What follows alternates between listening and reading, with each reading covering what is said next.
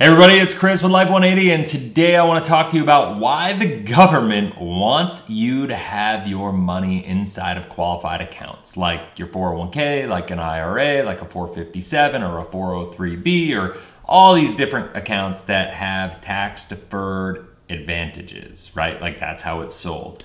I think there's a it's a huge industry and in fact, I've been doing a lot of research on this uh, just to kind of hone up on it. And I've found that such a high percentage of our wealth as a nation, as people saving for retirement, are putting their money into qualified accounts. And I think it is one of the biggest time bombs that's about to go off. But I will say that the reason we are pushed this way, the reason we are incentivized to put our money into these accounts is very intentional. And I think you're about to understand why. So, to prove my point, what I want to do is actually share my screen and get into a little detail um, talking about how much money is actually saved right now for retirement as Americans, how much, um, uh, like talk about like where the world, where we're at right now, where we are when it comes to uh, spending, debt, liabilities, exposure as a country, um, you know, how we're going to actually cover our, our, our, our, our exposure as a nation and, and how they're going to actually fund the liabilities that we keep creating more and more of. And ultimately, that's what it comes down to. It comes down to the fact that our country is spending irresponsibly. It's kind of like if you were to run your household like the government's running its, you know, its household of the country, you know, it'd be the equivalent of you making $100,000 a year and spending $200,000 a year.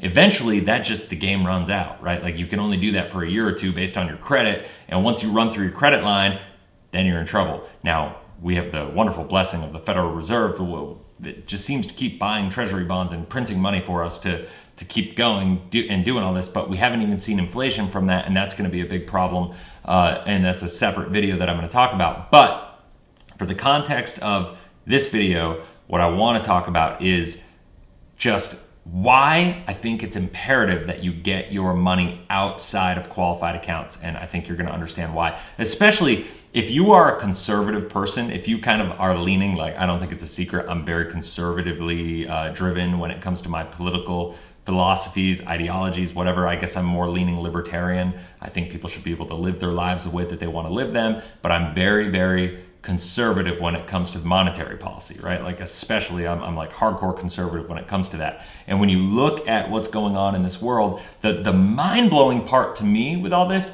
is that even the most conservative people in the world are putting their money into a vehicle that isn't in alignment with their values, right? I was having a conversation with somebody this morning on the phone and it actually clicked with me and, and that's why I'm making this video because I was like, wow, it's astonishing what percentage of conservative Americans are following an investment strategy that doesn't align with their with their values, right? Like so if you were to go talk to somebody or whether you're in a life insurance agent that's talking to people about their finances or you're watching this video and you're trying to make a decision for yourself, I want you to think about either asking yourself these questions or asking your clients these questions. And that is think about it this way. What do you what do you believe about the world right now? Do you believe the world is you know about this country specifically? Do you think that we're going to keep printing money? Do you think that we're gonna that taxes are going to go up? That you know our, our expenses and liabilities are to co- go up? Do you think we're going to remain in a low interest rate environment, and or or, high, or, or are we going to increase interest rates?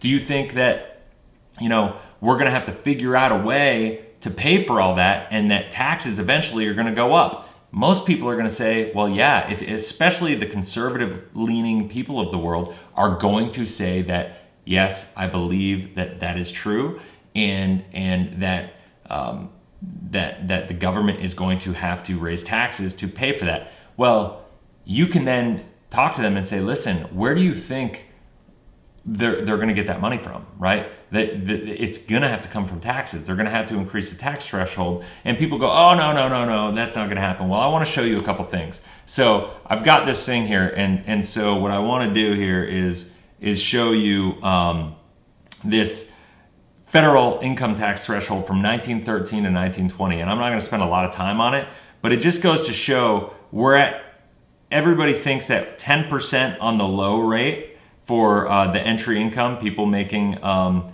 $19,750 for household income are taxed at 10%. People at the higher level are taxed at 37%. And you can see that seems the bottom end has been pretty flat.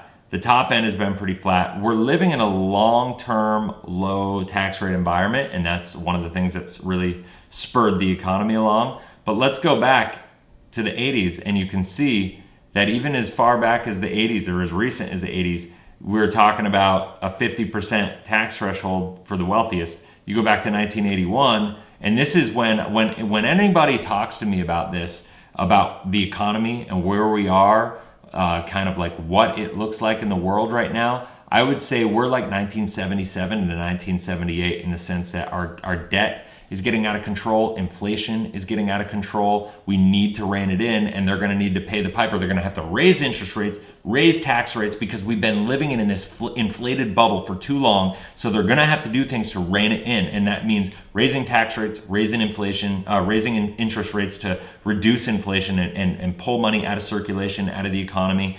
And that's what's going to get us back into a healthier environment. You can see here 77 through 1981, they did that. That's what led to the booming 80s. That, that just is it. Now, here's the thing.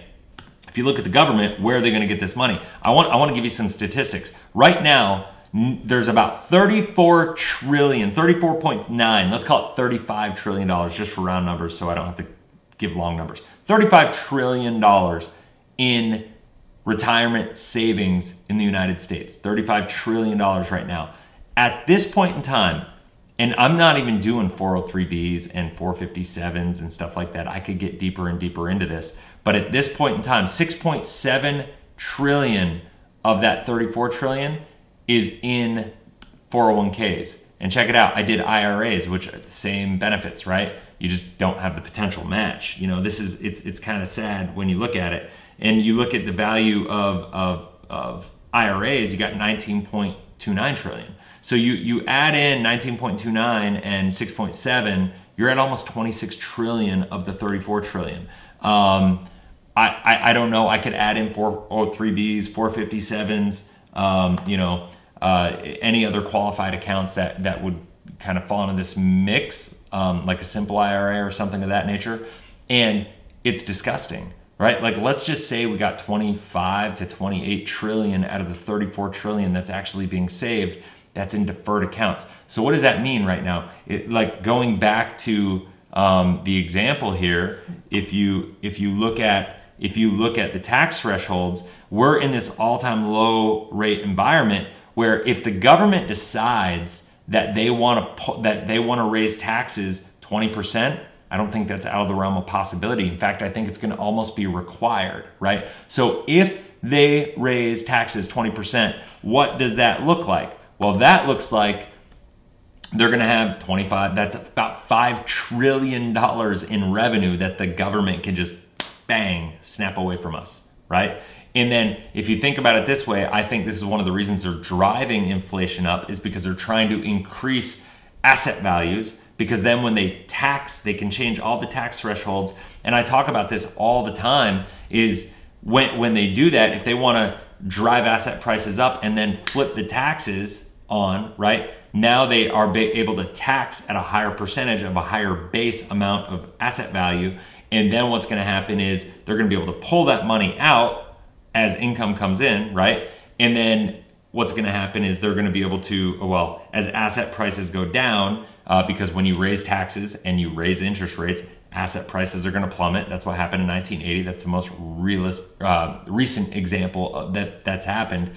But it's it's just simple math. If you break it down, it's what's it, it's what has to happen every single time. And so when you look at that, that forces people who have their money in those vehicles to make bad decisions, to make decisions that don't serve them and their financial goals and objectives, right? And so, what I want to encourage everybody to do is make sure that your financial strategy is in alignment with your values. Now, one of the big problems that I have is people say, "Oh, get out of that and get into an IUL." Well, when you get into an IUL with that philosophy, you're you're not doing anything different. You're you're basically just saying, "Okay, I trust the insurance company more than I trust the the government." But at the end of the day, the variables are still the same. There's still moving parts and there's not guarantees inside of that. One of the biggest things that I that I get upset about right now, and I'm seeing this guy that it, people and there's a, a person that I'm talking that, that I'm thinking about. Everybody knows his name. He's out there. I'm not going to call him out by name in this video. You can leave it in the comments if you think if you think you know who it is. Um, but he talks about how IULs are guaranteed and that they're guaranteed by the insurance company.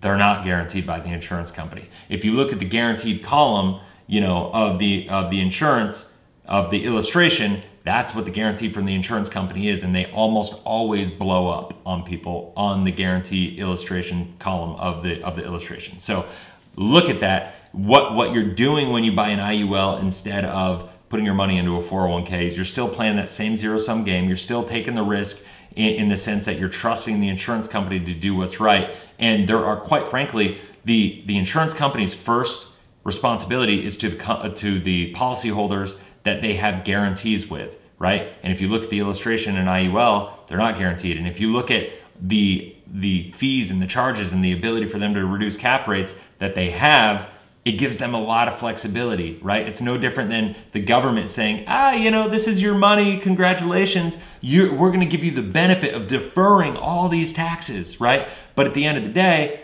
you could have $10 million in your account, but if, if, if the government decides to raise taxes up to 90% on the top marginal rate, because let's face it, if you have that much money in your account, you're probably gonna be at one of the top rates, like, then what's gonna happen is they're gonna if they raise to 90% uh, top marginal rate, like they did in the 40s, it's, it's actually been done before, then you really only have a million dollars. You know, it's not that 10 million isn't yours. So the point is, it's the government's money. They get to choose what they want to do with it, and you're at their whim, right? Like it, it really is up to them how much money they want to give you out of your own account. So it's really a fictitious number. When you put your money into an IUL, it's really no different. It can look like what it, what what they want, but then at any point in time, the insurance company can change any of those moving numbers, can change the cap rates, can increase the charges and fees. And the bottom line is if these IULs don't perform well in the first 10 years, which I think they're not going to perform well over the next 10 years because of the environment that we're in, even if some of the ones did, even though it did perform well over the past 10 years, I think for people buying now, the environment is completely different. You have to be very careful, um, you know, as, as you're looking to make these decisions. So anyway, make sure that your investment strategy, your saving strategy is lockstep in alignment with your values, with what you're trying to create, and make sure that you have control over the results. Because if you don't, then I promise you, you will regret it. So anyway, I hope that uh, you know serves you, helps you in some way. If you have any questions, uh, you know, leave it in the comments below. Make sure, please, I'd be honored if you hit that like button. If you haven't already, please subscribe. Make sure you click that bell. That way you get notified every single time I make a new video. Because as you can tell, I'm really passionate about this stuff. I love to do it. If you have any conversations or, or topics that you want me to address when it comes to anything to do with financial planning, financial efficiency, life insurance, topics, specifics, building your business, anything, write it in the comments below. I'll try to make a video on it just to serve you. So until next video, go out there, have a blessed, inspirational day, and I'll talk to you soon. Take care.